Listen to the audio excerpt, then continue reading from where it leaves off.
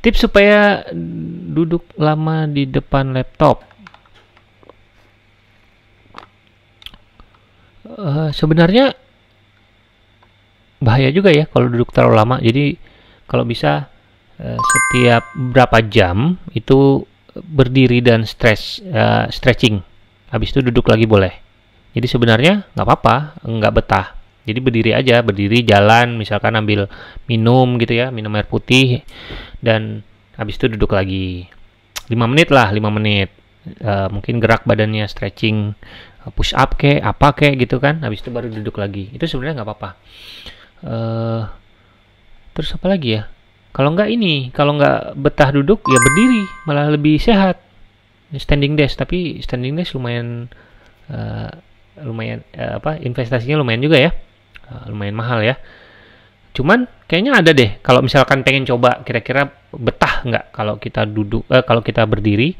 Pakai apa tuh? Pakai yang apa namanya? Ada tatakan laptop yang bisa ditinggiin? Nah pakai itu dulu aja. Di meja ditaruh itu jadi agak tinggi kan kita bisa sambil berdiri. Kalau cocok nanti baru investasi ke meja. Saya juga pengen sih standing desk tapi belum kesampaian.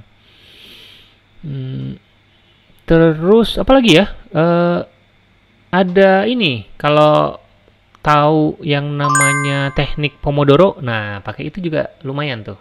Jadi dia sistemnya uh, apa kerja nggak terganggu apa-apa kita nggak uh, kerja fokus gitu ya fokus selama 20 menit sampai 25 menit ya boleh pilih gitu kan terserah kita.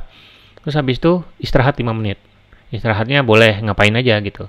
Jadi kita kerja selama 25 menit fokus nggak lihat YouTube nggak buka Twitter nggak buka apa.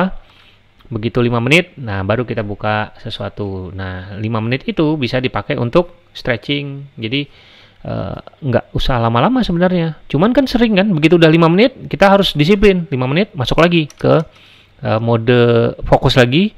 25 menit 20 menit istirahat 5 menit. Sampai uh, sampai 4 kali itu yang keempat itu istirahatnya yang panjang. Istirahatnya cukup lumayan panjang. Ada tuh namanya pomodoro